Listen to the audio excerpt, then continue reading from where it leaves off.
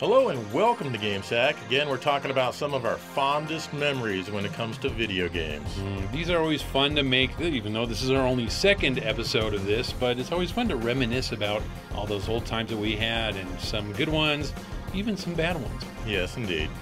and so, without further ado, let's get into it.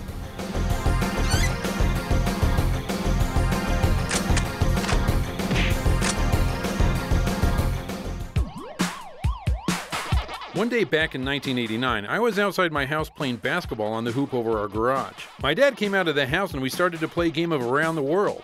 He said that after we were done, we should go to the game store to see if they had Pac Man on the NES because he apparently liked that game. This was news to me since I've never seen my dad pick up a game controller and play a game before in my life. I said, Yeah, definitely, let's check it out, thinking that Pac Man would be his and maybe I could get him to buy me a game too.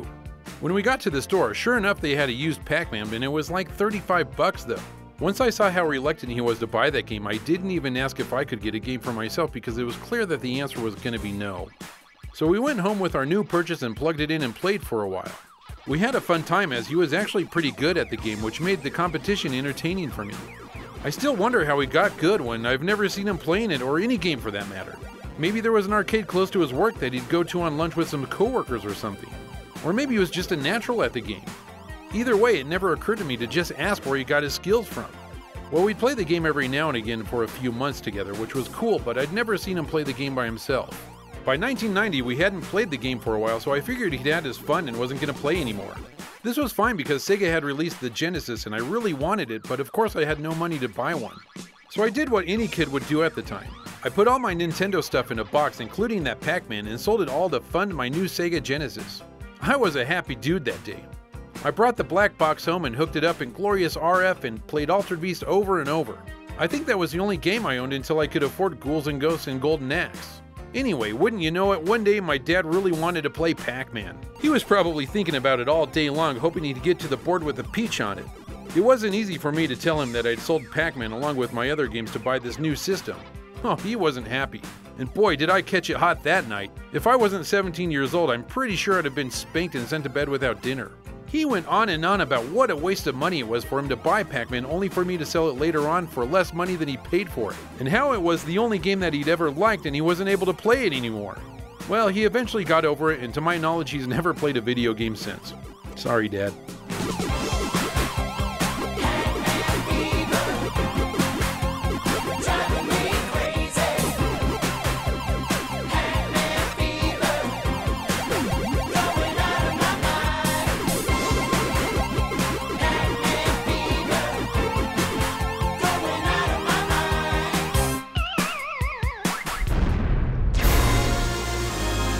My first memory involves the Sega Dreamcast console itself.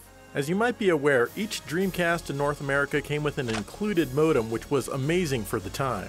I'd actually use it to play random games online here and there. Online gaming was pretty new to consoles, and I found it fascinating. Plenty of games worked online, like Quake 3, Daytona USA, Alien Front, and many more.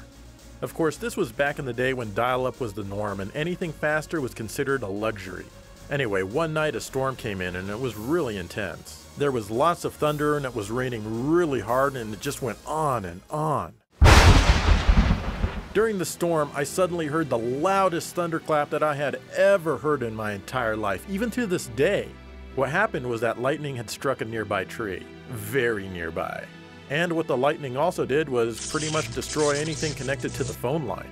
It fried all of the phones in my house, my computer's motherboard, and yes, my Sega Dreamcast. Well, actually, the Dreamcast itself was fine, believe it or not. It worked great, but the modem, it bit the dust. I was easily able to replace my phones and even get my motherboard repaired because somehow it was still covered under warranty. But I did not want to buy a brand new Dreamcast just to get a working modem. And they didn't sell them separately because every Dreamcast already came with one. But come on, I had to get it replaced. What I did next was actually Dave's idea, so I blame him. I went down to my local Target and bought a brand new Sega Dreamcast. I took the new modem from that console and replaced it with my non working one from my system. And then I returned the console to the store the very next day, claiming it was a present for my nephew and he already had one. And yep, I got a full refund. And no, I don't have a nephew. So, was I evil? Well, kind of. I just hope that the person who bought that Dreamcast didn't have any interest in playing games online. But if they did, hopefully Sega replaced it for free under warranty. Didn't matter though, because I had my working Dreamcast modem and I was content. What's kind of funny is that same year I eventually upgraded to fiber optic internet with a blazing 10 megabits per second speed and I bought the Sega Dreamcast broadband adapter. So I no longer really had much use for my modem. I continue to enjoy certain games online at better speeds. It's just too bad that not every online game supported broadband. Nowadays, I actually don't care about playing online games at all, especially since you have to pay extra for it. So, sorry everyone who befriends me on whatever random console, you'll probably never see me in any of your matches. Trust me, it's nothing personal. Back when online gaming was new, it was interesting and unique. I obviously felt it was worth going out of my way to deceive Target to continue doing. But I think I'm just too introverted to really appreciate online gameplay with people I don't know these days. Checkpoint! Your time's extended.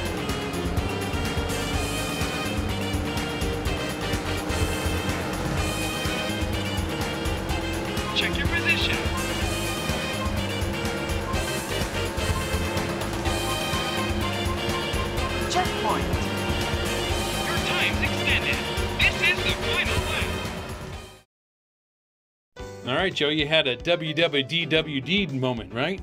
Uh, what would Dave White do? when he freaking That's exactly what you did because if, if I recall, you replaced your import Dreamcast with a US Dreamcast with that very same method, right? I did, and you know, sneaky guy, and it, it worked Yes, for it a did. while. And I do remember at one point I did try to return another system, Mm-hmm. but the bark or the the, The barcode, yeah. yeah, it didn't match up to the box, the one on the system, and they were like, "Ah, you can't. This doesn't match." I'm like, "Damn, they're getting smarter." Called you on it. Yeah, they're getting smarter. Well, But anyways, we've got more memories. We can remember things. So, back to it.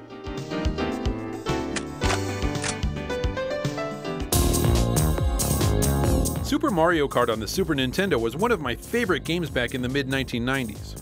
Since I was still fairly poor and didn't have a lot of games, it was always in my rotation of titles I'd play over and over, along with Castlevania 4 and Super Mario World, among others. So, yeah, I love Super Mario Kart a lot. I love the premise of characters from the Mario universe battling it out in a Grand Prix. When I had friends over, Mario Kart would be one of the games we'd always play. I had one guy who's still a friend to this day. Let's call him uh, Wario for the sake of this story. He had a Super Nintendo and asked to borrow Mario Kart, and he said he'd bring it back the following weekend. I was pretty reluctant, but I agreed and let him take it home with him. The long week passed, and it felt like it took forever since I was having withdrawals. I saw Wario on Friday, and he brought back my game and said thanks, and that was the end of it. The next day, I went to play it and noticed that the cartridge had some scotch tape on it by the label on the top end. As I inspected it a bit further, I noticed that the top back of the cartridge was cracked like a piece was breaking off. I couldn't believe what I was seeing since Wario didn't mention anything when he gave the game back to me. Of course, I called him right away and asked him what he knew about it. He nonchalantly said that his brother had stepped on the cartridge when it was on the floor. He did the best he could to fix it by putting tape on it. He didn't even apologize. I asked why he didn't tell me about it right away, and he said that he didn't think it was a big deal. I couldn't believe what I was hearing. One of my favorite games at the time was just marred, and he figured it wasn't a big deal? Well, it was a big deal to me since I really like to have my games in good condition, especially ones that I buy brand new.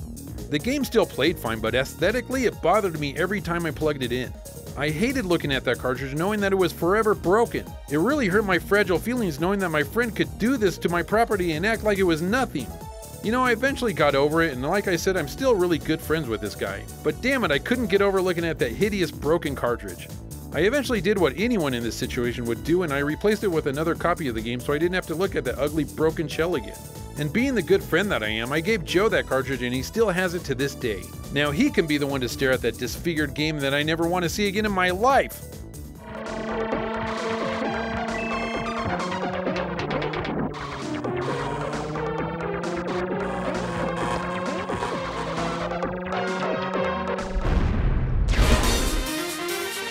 This is Gangster Town on the Sega Master System. It's a game that requires the light phaser gun to play, and it can be enjoyed by a whopping two players at the very same time. You didn't see Zapper games doing that on Nintendo. Anyway, this story involves some good ribbing from someone else on YouTube that you may be familiar with Pat Contri, also known as Pat the NES Punk. A few years ago, there was a show produced by RetroWare called The Video Game Years, which, as the name implies, chronicled noteworthy games and events into the years in which they happened. Pat was a producer on the show, and I was one of the video editors, along with the likes of Coury and Try from My Life in Gaming and others. In addition, Dave and I occasionally appeared on camera to discuss subjects that we felt we could contribute to, as did Pat and plenty of other YouTube personalities. So obviously the marketing was terrible. I mean, look at this box. You can't really see the system of the games. You see some kid's face. Right. Look at him. He's having a great time. That's because he's playing the TurboGrafx 16. Yeah, rightly so. One time in 2014 or so, we were all brainstorming what should and shouldn't be discussed on the show. I happened to opine that perhaps we were taking a look at too many things that people were already familiar with and not enough things that might offer new knowledge to the viewer. Basically, I was saying that the show was far too Nintendo heavy and that we should look at other significant games on other platforms. Like Gangster Town here on the Sega Master System, as no other light gun games at home let two players play at the same time and it might be fun for people to learn about for a minute or so. Well, Pat disagreed and that was that. Or was it? No, it did not end there. So, in order to make the show, people would send in raw video of themselves talking about various subjects in front of a green screen, and then the editors would get to work. I really wish I still had them, but in a couple of these raw videos, Pat would give me a little bit of flack about Gangster Town. And as for me, I tried my best to sneak references to Gangster Town into the Video Game Years episodes and even GameSack episodes. Oh, but it didn't end there either. The next convention that we were both at, Pat made sure to bring a copy of Gangster Town and offer it for sale at his table. Near the end of the con, I walked up to him and pointed it out, and of course, he made sure to let me know that nobody was interested in buying it, despite being priced very, very low. Well, I thought it was funny and I laughed. The thing is, though, is that I really should have bought it from him and had him autograph it. But of course, by the time that thought entered my head, I was already on the flight back to Denver. But yeah, Gangster Town is a thing between us. And I think that we should bring the Video Game Years team back together to create a half hour episode solely on Gangster Town which is about three times longer than the game itself.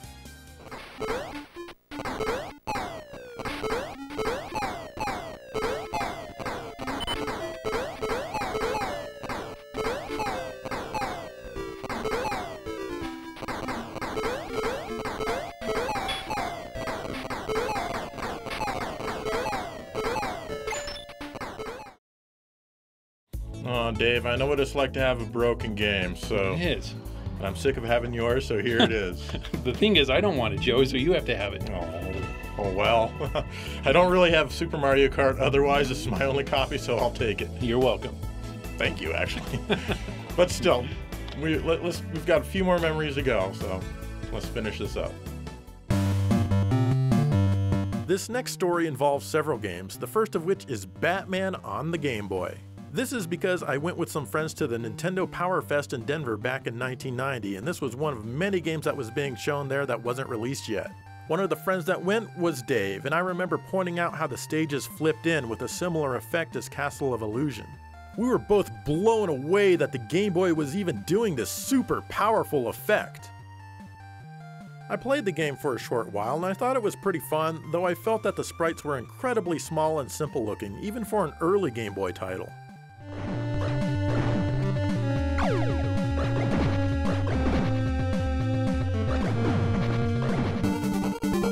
Another game that we saw there that wasn't quite released yet was Mega Man 3. At the time, I still didn't have an NES of my own, but I was already a huge fan of Mega Man 2 anyway. So of course, I was eager to see what Mega Man 3 offered. It looked really cool and the music was good, but I could tell that it wasn't quite as good as the music in Mega Man 2. Overall, I liked what they let me play there, but I walked away feeling that Mega Man 2 was still the better game. And yes, I still feel that way.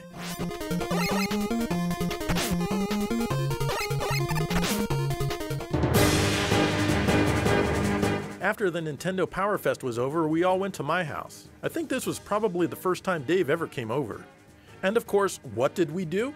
We played Golden Axe on my 16 bit Sega Genesis. I know I'm only showing single player gameplay, but you get the idea. I had it hooked up to a little black and white TV in my room, as that's all I had. It didn't matter though, as we all still had tons of fun. In fact, I remember one of my friends remarking that you don't even notice that it's in black and white after a while because you're just too busy having fun. We, of course, played this game a few times and eventually beat it, and I'm sure we played other Genesis games as well. But Golden Axe is the one I remember the most. And after we were done, my mom made us all spaghetti for dinner. That was a good Friday, and honestly, I'm surprised I remember it so well. But when you're experiencing brand new Nintendo games and then playing Sega Genesis right after that, who wants to forget?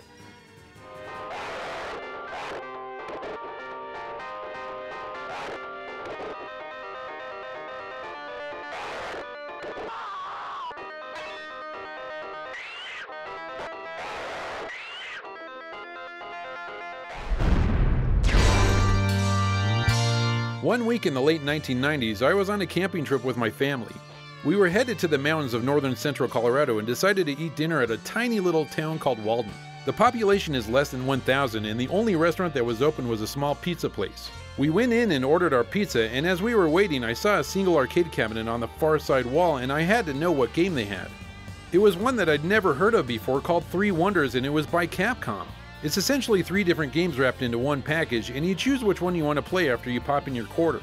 The three games are an action platformer called Midnight Wanderer, which I like the best, a shooter called Chariot, and a puzzle game called Don't Pull, which isn't that great.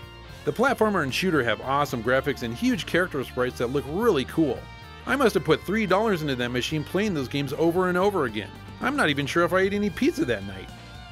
When we were camping, all I could think about was this game and how did it end up in this tiny town and how had I never heard of it before. Ultimately, though, I was wondering if it ever had a release on a home system. When I got home from that trip, the first thing I did was hop on the internet to learn more about it. I found out that it did get a release on the PlayStation and Saturn in Japan. Oh, there was hope for me to find this game on eBay then. Every day I searched that site, but no copies ever came up for auction. I was getting really frustrated, and it got to the point of me posting on forums asking if anyone had a copy that they'd want to sell. Of all places, somebody on GameFAQs had a copy for the PlayStation and was in the market to get rid of it. This person didn't want cash but wanted to trade something for it. He asked if I had any TurboGrafx games. He said he wanted Lords of Thunder, and guess what? I had a copy. This was when I first said to myself, hold on now, you're about to trade a game with somebody from a freaking farm that you've never met before. How could I possibly trust that this person wasn't going to totally screw me over and just take my game and not send his to me? But who knows, maybe this person was having the same thoughts about me. I thought it over and decided that I needed to have this game and went through with it. We exchanged addresses, and the next day I sent my copy of Lords of Thunder to him. About a week went by, and to my great happiness, I got the package with three wonders. My faith in my fellow human beings grew that day, and I was beyond happy. It was almost as fun as I remember from the little pizza place and its only drawbacks were a long loading time, a lot of slowdown, and very shrill sound effects. It didn't matter though, as I was happy. Oh, and I was able to quickly replace my copy of Lords of Thunder with a new one. At that time, a little online store called TurboZone Direct had it in stock, and I didn't hesitate to buy myself another copy. That transaction with the random stranger will always be in my mind as one of the strangest things I've ever done for a game.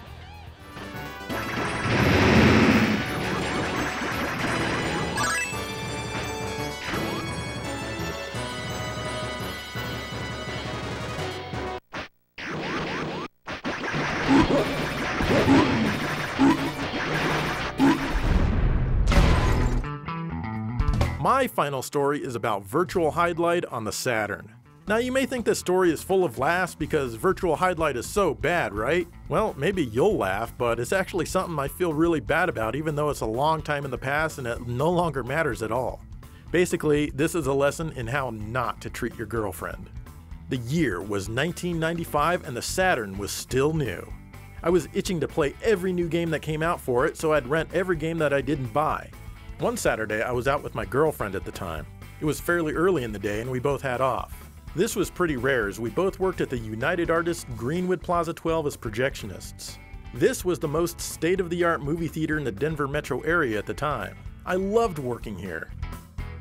This is the same theater where in a previous episode I mentioned playing Mario Kart 64 on the big screen, which you simply couldn't do at most theaters at the time. We had a video projector that I was told cost more than $100,000 that we used to do this and other things with.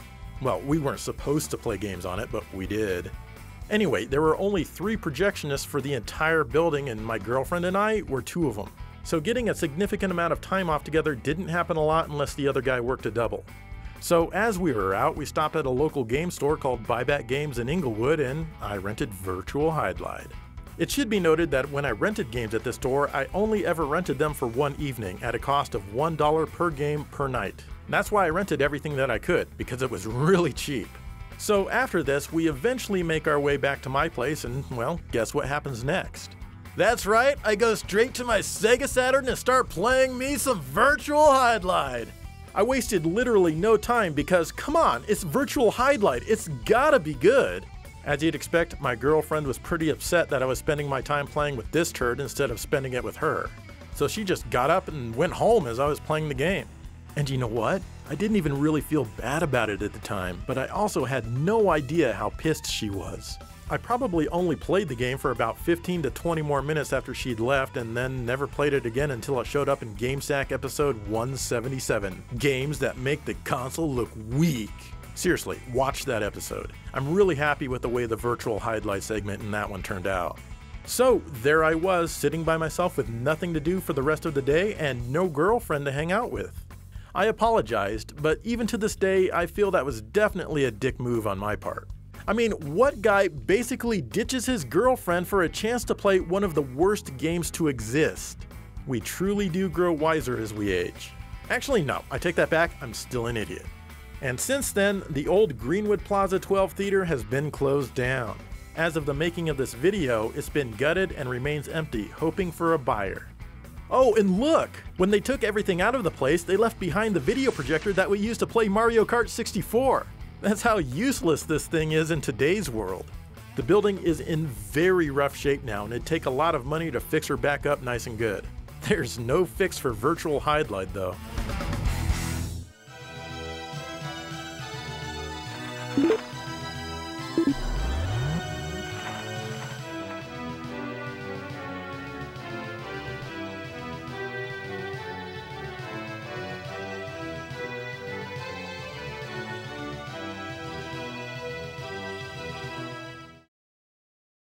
All right, there we have it. Some more awesome gaming memories. Uh, well, for us, anyways. Yeah.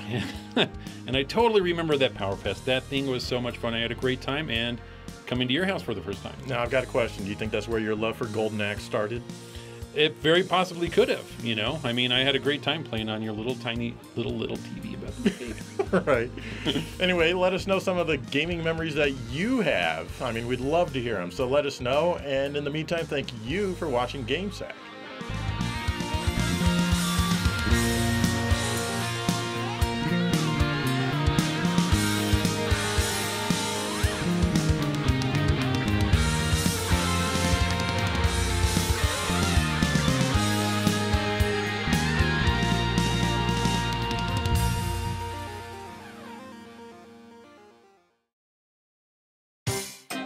You want to play Gangster Town on the Sega Master System? It's two players simultaneously, and I have the rapid fire unit so we can cheat to win. I'd like to, Joe, but Pat Contri, the NES punk, says nobody cares about Gangster Town. Nobody, huh? Nobody. Well, nobody is pretty all-inclusive, so that means I don't care about it either. I wish I knew earlier. Saved me a lot of grief. Well, how about we go play some Bob Barker's Trick Shooting? Oh, okay. I mean, if the price is right.